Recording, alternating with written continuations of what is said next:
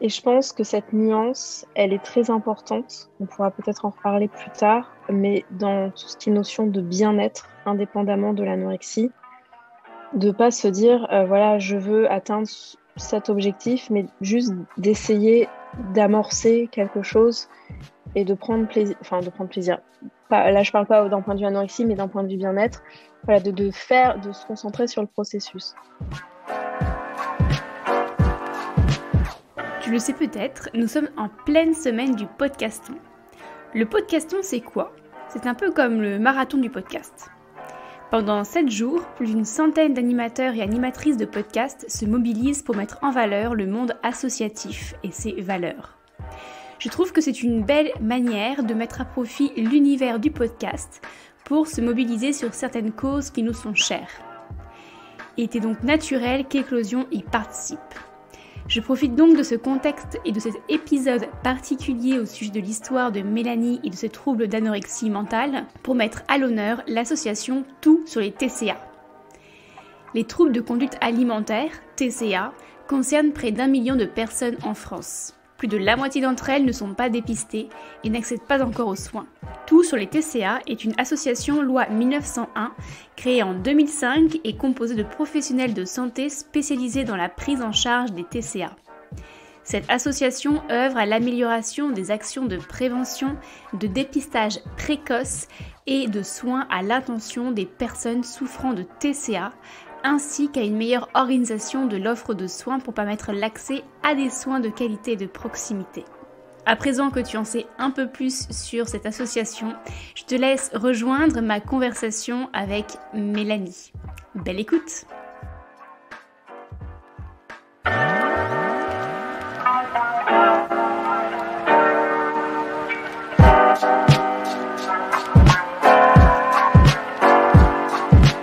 Dans ce podcast, je tends le micro à toutes ces femmes qui désirent partager leur propre éclosion, leur propre manifestation, leur naissance ou leur renaissance. Santé féminine, santé mentale, troubles alimentaires ou encore mode de vie plus durable et respectueux. Elles racontent leur récit de vie sans filtre ni tabou. Je suis Alexandra Portail, hôte de ce podcast, et je te souhaite la bienvenue dans Éclosion.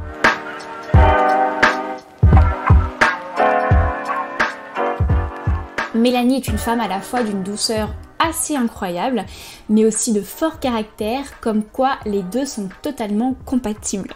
Pourquoi avoir demandé à Mélanie de partager le micro avec moi?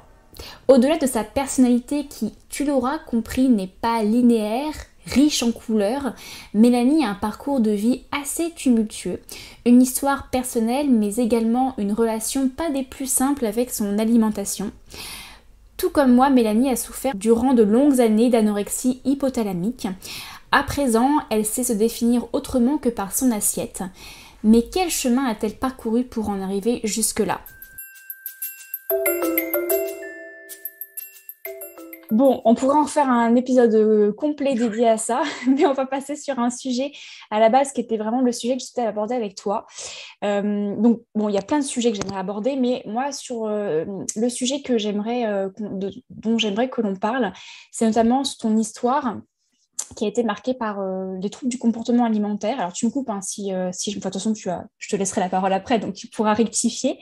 mais je sais que tu as expliqué via ta chaîne YouTube il y a quelques mois maintenant, voire peut-être un an ou plus, euh, ton histoire euh, concernant euh, bah, ton épisode d'anorexie mentale.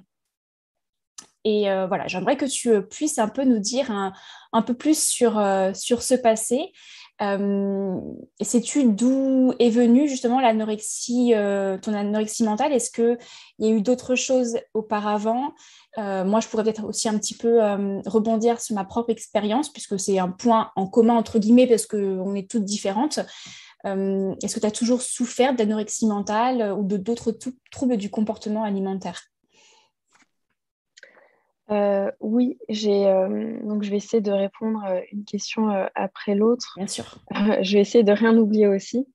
donc oui, c'est important de mentionner que en fait, il existe autant de parcours ou de raisons mm. de, que les troubles du comportement alimentaire, donc les TCA, se déclenchent, que de personnes euh, qui en souffrent.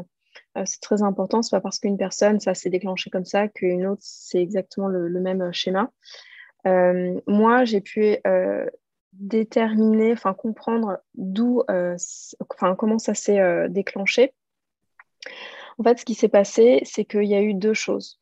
Il y a eu des éléments qui ont, un peu comme euh, quand on veut faire une recette, on met tous les ingrédients et puis au bout d'un moment, on mélange, etc. Bah, moi, c'est au fur et à mesure euh, du temps, il y a des éléments qui se sont mélangés et un peu comme s'il y avait une bombe qui se préparait. Et ensuite, il y a eu un élément déclencheur. Donc, euh, dans, les, dans les, la les ingrédients en préparation de la bombe, je vais dire entre guillemets, en fait, ça a été simplement la, violence que j'ai ressentie en revenant en France après 15 euh, ans euh, d'expatriation, c'est extrêmement euh, difficile à expliquer aux personnes qui n'ont pas vu l'expatriation parce que c'est. Enfin, je pourrais écrire un livre à ce sujet, voilà, répondre à des interviews, etc. C'est vraiment une expérience qui, qui qu'on peut ressentir que si on l'a vécu. je sais que ça fait un peu VIP, vous pouvez pas me comprendre machin, mais c'est pas ce que c'est pas ce que j'essaye de dire, mais c'est c'est très difficile. Euh, il y a beaucoup de choses en fait qui ont changé euh, quand je suis revenue en France sur plein de plans différents. Et euh, moi-même, j'étais extrêmement différente des autres. J'avais un mode de fonctionnement qui était différent, un mode de ressentir qui était différent, un mode de penser qui était différent. Et on m'a fait comprendre que j'étais très différente. et pour la première fois de ma vie, à mes 15 ans, ben, j'ai essayé de m'adapter là où j'étais. Euh, et, euh, et j'y arrivais pas en fait parce que le fait de s'adapter là où j'étais, ça me demandait de ne plus être moi-même. Et euh, j'imagine que tu sais très bien ce que ça fait au bout d'un moment, mm. c'est y a, on explose d'une manière ou d'une autre. Et donc voilà, je pense qu'il y a eu beaucoup de, de, choses liées à ça. et l'élément déclencheur, ça a été une, euh, donc euh, oui, donc je suis revenue en France en 98 et mon anorexie euh, s'est déclenchée début 2005, donc environ sept ans plus tard. et l'élément déclencheur, ça a été une relation, une relation avec un jeune homme. Donc moi j'avais la vingtaine à cette époque-là, qui, alors je ne vais pas dire relation toxique, mais qui m'a fait subir ce que moi j'estimais être une torture psychologique qui a duré environ euh, un an et demi, je crois, ou deux ans, je ne sais plus trop. Et, euh, et en fait, euh, ben, mon, psychisme et ou mon corps m'a dit non, en fait, là, c'est plus possible.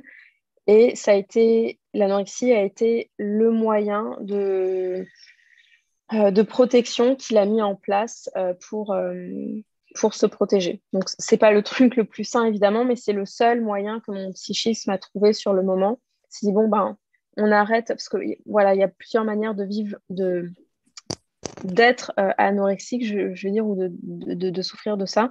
Et moi, dans mon, dans mon, dans ma manière d'être, c'était vraiment, j'ai coupé les ponts avec tout le monde, tous mes amis, tous mes contacts de la fac, du lycée, de mon enfance d'expatriation. je ne parlais plus à personne. Et ça a été vraiment une coupure, euh, comme si je m'enfermais dans, dans une protection. D'accord. Et au-delà de cette euh, de cette euh, de ce, décalage, on va dire, avec ton entourage où tu t'es vraiment enfermé sur toi-même, est-ce qu'il y a eu d'autres d'autres choses que tu as mises en place, d'autres effets compensatoires, j'ai envie de dire, que, que ça? Au niveau de ton alimentation, par exemple, ou, d'autres, hein, je ne sais pas ce qui s'est passé. Ben, la maîtrise de ce que je mangeais, mmh. ce qui est classique dans l'anorexie. Euh, je, calculais tout, je mesurais tout, je prévoyais tout. Vu que j'avais l'impression que je ne maîtrisais plus rien dans ma vie et que tout partait, euh, je dirais, entre guillemets, en live, je me suis dit, ben, je vais essayer au moins de maîtriser quelque chose. Et alors qu'en réalité, c'est l'anorexie hein, qui, nous, qui, nous, maîtrise, c'est pas du, on maîtrise rien du tout. Euh, mais moi, j'ai eu cette impression-là. Alors évidemment, tout ça, c'était des processus inconscients. Hein. Je me suis pas dit, je maîtrise plus ma vie, je vais maîtriser mon alimentation. Ça ne s'est pas passé comme ça. Mais euh, c'est comme ça que je l'ai compris euh, lorsque j'ai fait un travail sur moi avec euh, des psychologues ensuite. Mmh. Et, c'était rassurant pour moi de pouvoir enfin avoir une prise sur quelque chose que je vivais et qui était violent pour moi depuis sept ans. Mmh. du coup, tu as mentionné le fait d'avoir fait un travail psychologique. On va revenir un petit peu après sur ton chemin de guérison. Mais justement, euh, une chose qui est souvent difficile aussi quand on est euh, bah, dedans, c'est bah, on ne s'en rend pas compte en fait. C'est plutôt euh, plein de processus inconscients que l'on met en place jusqu'au moment souvent où il y a un déclic qui peut être complètement différent pardon, d'une personne à une autre. Toi, quel a été ce moment, ce déclic qui t'a fait peut-être basculer, on va dire, de l'anorexie à ta guérison progressive? Est-ce que tu saurais d'ailleurs le mentionner ou tu ne sais pas encore forcément ce que c'est Et tu, c'est pas obligatoire des fois de le savoir. Hein. Je pense qu'il y a eu deux moments. Il y a eu euh, un premier moment. Donc moi, j'ai en fait, mon anorexie a commencé avec un énième régime.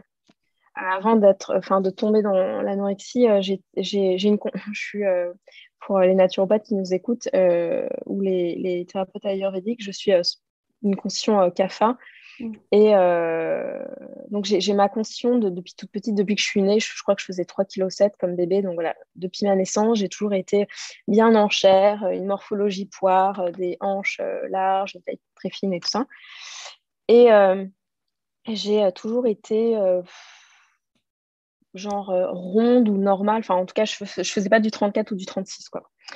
Euh, j'étais peut-être en léger surpoids, mais j'étais pas en. Non, j'étais enfin, dans la norme au niveau de l'IMC, qui est un, indicateur, on est bien d'accord, qui n'est pas forcément très. Euh, enfin, voilà, je suis pas très d'accord avec le, truc du, concept de l'IMC, mais bon, c'est un repère qui nous permet de dire si médicalement il y a un danger ou autre, et clairement, j'étais pas en surpoids.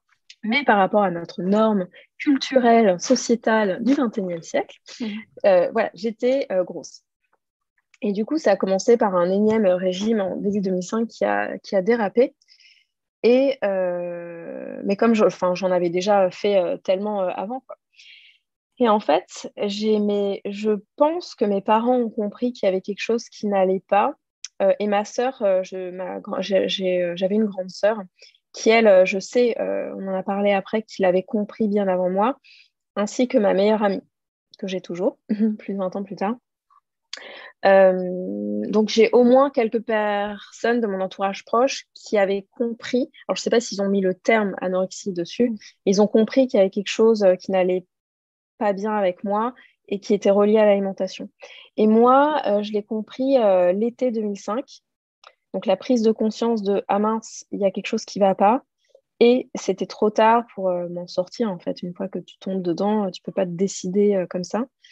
Donc c'était été 2005, donc ouais, euh, environ euh, huit mois plus tard. Euh, en fait, j'ai vécu cet été-là deux ou trois mois, je ne sais plus, mais deux mois sûrs au Canada. Et je vivais chez un couple d'amis à mes parents. donc quand je suis partie, ben, je, oui, j'ai travaillé en tant qu'assistante de gestion là-bas. Et, et, et, en fait, je contrôlais du coup tout ce que je mangeais, je pesais tout, etc. Et je me suis rendu compte euh, environ une semaine ou deux semaines avant de rentrer en France et du coup de revoir mes parents, que j'avais perdu beaucoup euh, de poids et euh, que j'ai en fait l'idée de me dire ben, je vais arrêter de perdre du poids, voilà, j'ai fini mon régime, je vais rester comme ça. En fait, c'était anxiogène. Et au moment où je me suis rendu compte de ça, voilà, j'ai fini le régime et je peux. normalement, quand une personne euh, qui n'a pas de problème de trouble du comportement alimentaire si elle fait un régime, une fois qu'elle se dit bon moi j'ai perdu assez de poids, c'est bon, euh, c'est genre c'est la joie quoi. C'est la libération. en fait, voilà c'est ça. Et moi c'était euh, anxiogène, c'est mon Dieu en fait je ne peux pas arrêter ce que je fais en fait. Et, là je me dis ok il y a, y a, un problème. Et le deuxième déclic, ça a été donc ça c'est en 2005, c'était un an ou deux ans, je ne sais plus, je crois que c'était un an après. Donc au moment où je me suis rendu compte qu'il y avait un problème, je ne voulais pas m'en sortir.